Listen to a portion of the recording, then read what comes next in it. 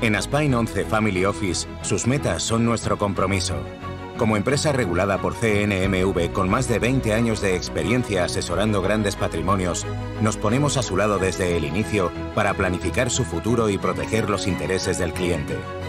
Mantener y hacer crecer su patrimonio es nuestro compromiso, aportando nuestra experiencia en la toma de decisiones. Aspine 11 Family Office, a su lado en el camino.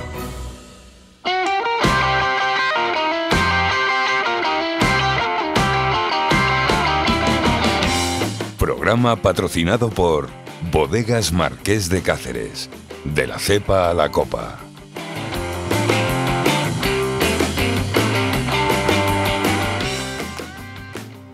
Buenos días, soy Paloma Basallo. Bienvenidos a nuestro programa Inversión con nombre propio. Hoy tenemos el placer de contar con Martina Álvarez Javier, directora de la oficina de Iberia de Janus Henderson. Antes de empezar la entrevista, recordarles nuestras redes sociales.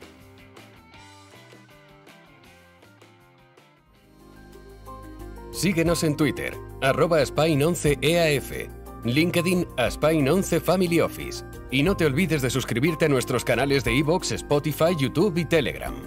Aspine 11 Family Office. Conecta con las finanzas.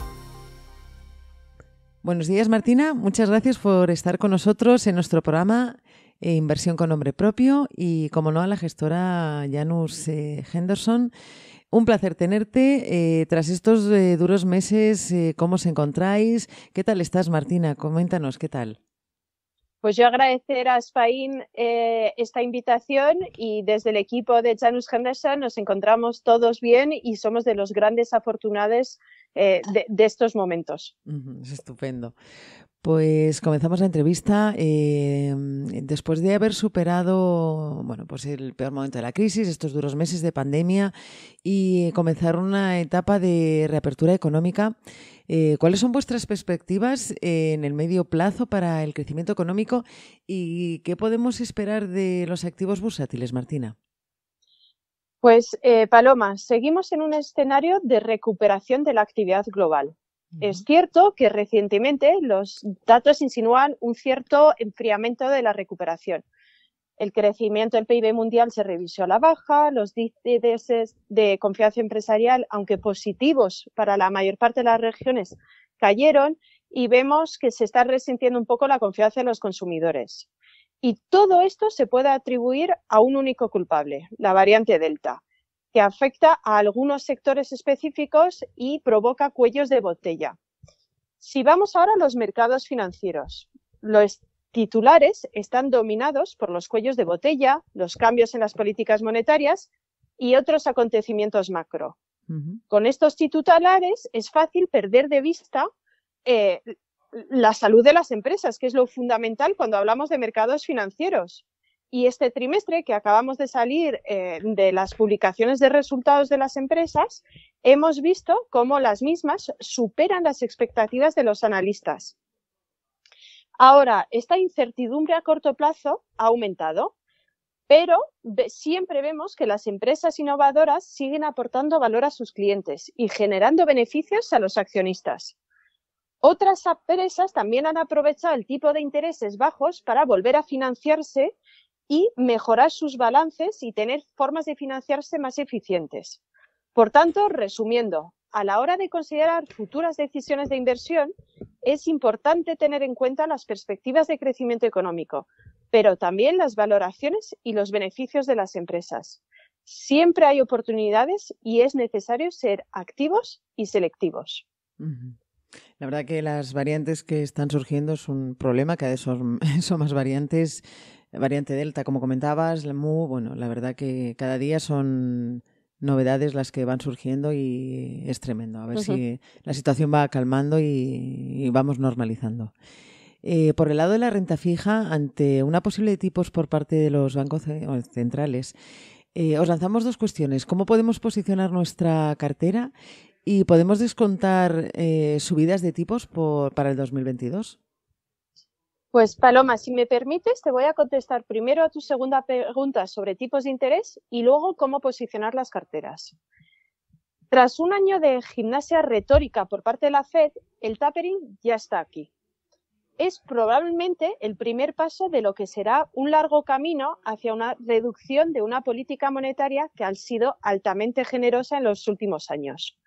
Un ejemplo, la Fed, em, cuando haya acabado su tapering, como para mediados del 2022, su balance seguirá superando los 8.000 millones de dólares. Por tanto, yo diría que la Fed lo que está haciendo es levantando el pie del acelerador más que pisando el freno el siguiente paso a la normalización de la política monetaria será una subida de tipos de interés.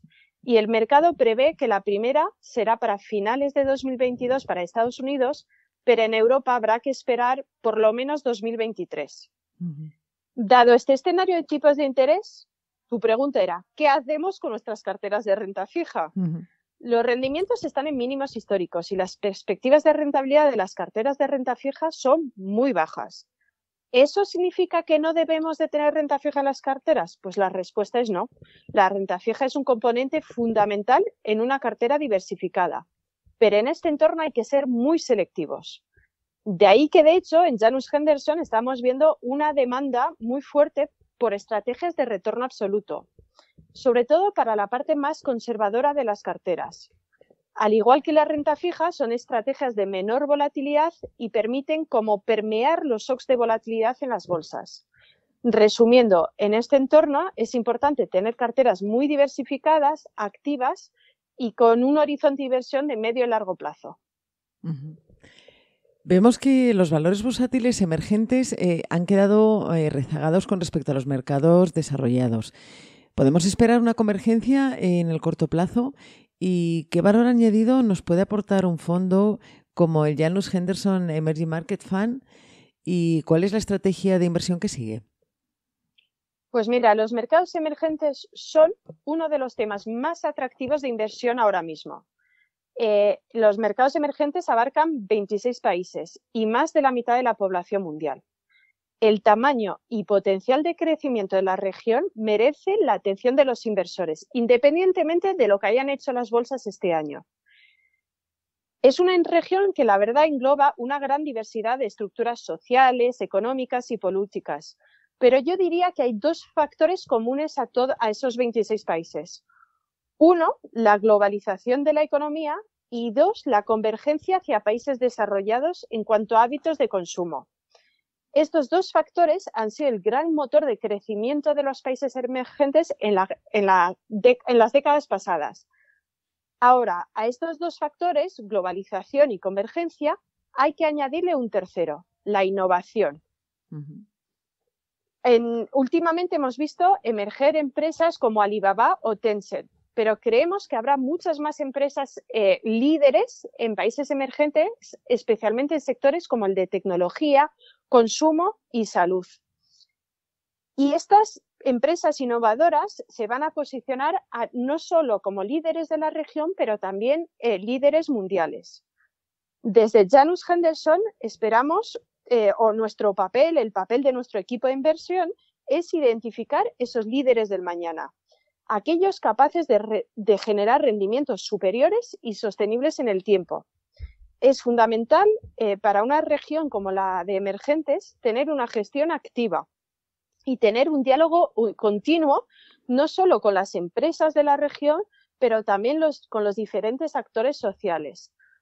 De ahí que nuestro fondo, el Janus Henderson Emerging Markets, eh, siga una gestión activa de elegir los líderes del mañana. Eh, Martina, es obvio que los inversores cada vez están focalizando más su atención en la inversión temática. En nuestra parrilla tenemos obviamente el fondo Janus Henderson Horizon Global Property Equities. ¿Cuáles son vuestras perspectivas para el mercado inmobiliario? Y nos gustaría que bueno, nos ampliaras eh, qué estrategia sigue este, sigue este fondo, sobre todo para nuestros oyentes, los cuales nos han mencionado en varias ocasiones eh, tener bastante interés en este fondo. Pues lo primero es agradecer a Spain su recomendación. Eh, la estrategia Global Property de Janus Henderson cuenta con más de 15 años de historia y 2.000 millones de dólares de activos bajo gestión. El fondo cuenta con cinco estrellas de ex-Morningstar, que es la máxima calificación posible. ¿En qué invierte el fondo? el fondo invierte en REITs, que sería el equivalente de las SOCIMES, pero invierte a nivel global. Tiene empresas en Asia, en Europa y en Estados Unidos.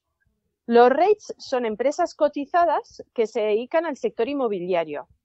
Incluye un amplio abanico de sectores, desde los más tradicionales, como puede ser el sector residencial, locales y centros comerciales, pero también almacenes, centros de logística, hoteles y sectores muy novedosos y necesarios, como son los centros de datos y las torres de telecomunicaciones. De hecho, si miramos los índices eh, de rates o del sector inmobiliario cotizado, estos nuevos sectores no estaban presentes en esos índices hace 20 años y actualmente representan un tercio del mercado. Veamos ahora por qué es buen momento de invertir en el sector inmobiliario indirecto, es decir, a través de cotizadas, de empresas cotizadas o de rates. Destacaría tres factores. Primero, valoraciones. Si bien es verdad que las bolsas globales han corrido mucho este año, el sector inmobiliario se quedó rezagado frente al resto de otros sectores, eh, de otros sectores, ¿no? Eso también significa que tiene aún potencial de crecimiento en los próximos meses. El segundo factor que me gustaría destacar es la inflación, de la que estoy segura, Paloma, que vamos a hablar en algún momento. Eh, los REITs tienen a comportarse bien en entornos inflacionistas, ya que los alquileres están ligados a los índices de inflación, al IPC.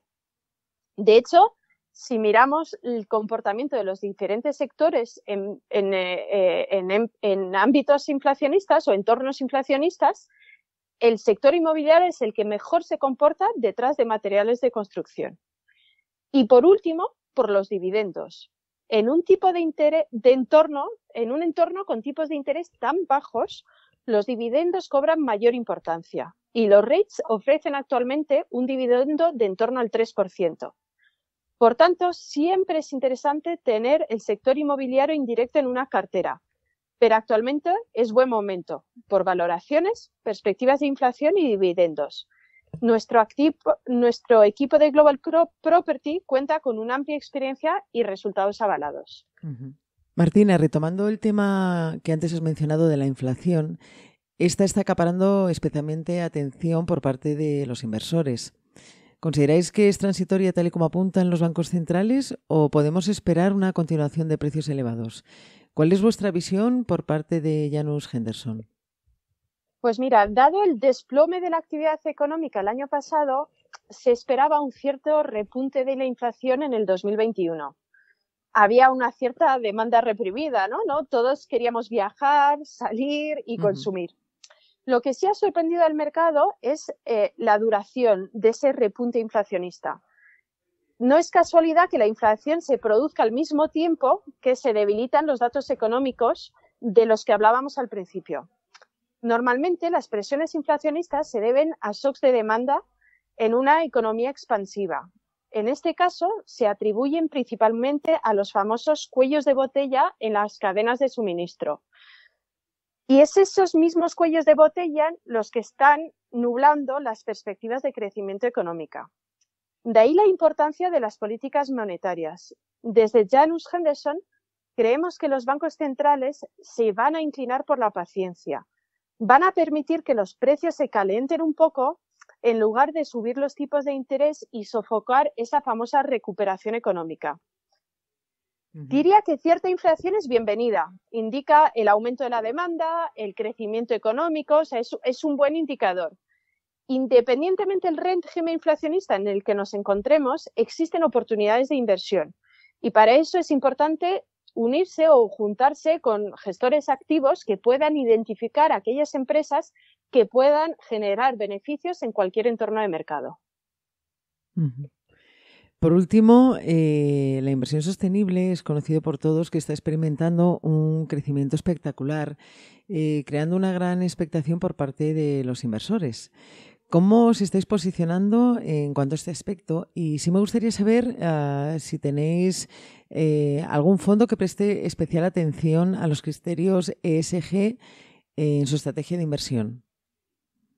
Pues efectivamente, hemos visto un auge de la inversión con criterios sostenibles en los últimos, meses. Ahora no es nada nuevo para Janus Henderson. Justo en verano, nuestra estrategia Janus Henderson Global Sustainable ha cumplido 30 años. Llevamos más de tres décadas invirtiendo de forma global con criterios ASG, ambientales, sociales y de gobierno corporativo. ¿Qué significa invertir con criterios ASG en una cartera de renta variable global? Buscamos empresas que ofrezcan soluciones a cuatro retos que tenemos como sociedad. Primero, el envejecimiento de la población. De hecho, España es el país más longevo del mundo después de Japón. Y eso nos presenta varios retos, entre otros el gasto en el sector de salud. Segundo, el crecimiento de la población y como consecuencia de ello, la escasez de recursos naturales. Y por último, y de lo que se está hablando ahora mismo en la COP26, el calentamiento global. La estrategia Janus Henderson Global Sustainable Equity invierte en 50 empresas a nivel global, empresas que ofrecen una solución a esos cuatro grandes retos que acabamos de comentar. Invertimos en temáticas medioambientales y sociales. Temáticas como pueden ser la gestión del agua, el transporte sostenible, eficiencia, salud, seguridad o calidad de vida. Siempre nos preguntan si la inversión sostenible está reñida con rentabilidad. Nuestra estrategia, con más de tres décadas de historia, demuestra que invertir con criterios sostenibles añade valor a los partícipes de los fondos. La estrategia bate al MSCI World más del 90% de las veces y también cuenta con una calificación por parte de Morningstar de cinco estrellas. Es uno de los fondos que más nos están demandando en España y pensamos que hay mucha demanda o mucho apetito por este tipo de estrategias.